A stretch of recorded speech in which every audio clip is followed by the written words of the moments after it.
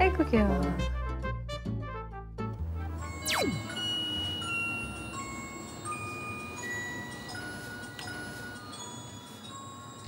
엄마가 또 깨우는 전화인 것 음. 같은데요.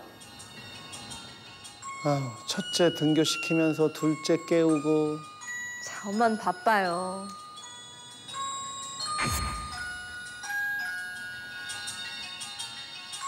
꼼짝을 안 하네요. 야, 야. 야.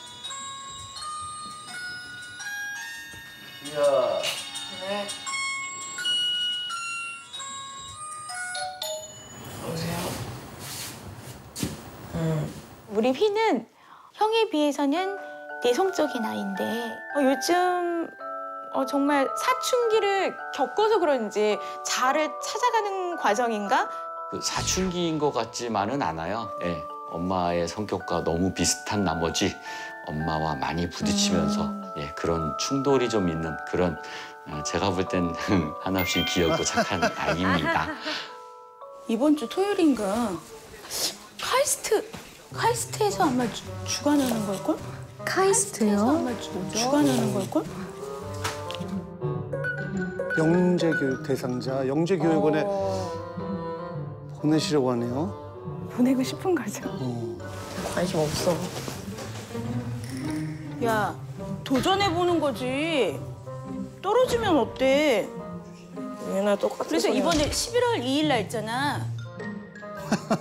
약간 시간 안 되긴 하는데 늦어도 가보려고. 설명해.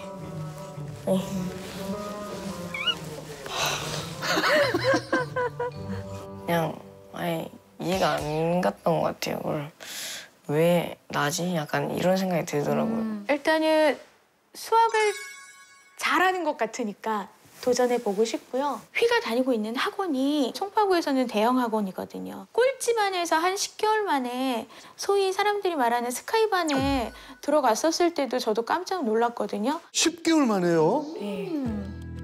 그리고 시험의 결과에 대해서 자기의 위치도 어느 정도 정확하게 알게 되고 휘가 몸소 체험해봤으면 좋겠어서 엄마 시험을 보라고 해가지고 시험을 봐서 진짜 간신히 이제 꼴찌반에 들어갔었는데 근데 이제 근데 엄마가 그때 스카이랑 막 프리스카이 막 그런 거 얘기했었거든요. 반에 높은 반을 좀 가는 걸 원한 것 같았어가지고 한번 그냥 죽을 듯이 해보자 막 이러면서 쉬는 시간에 수학 개념 다시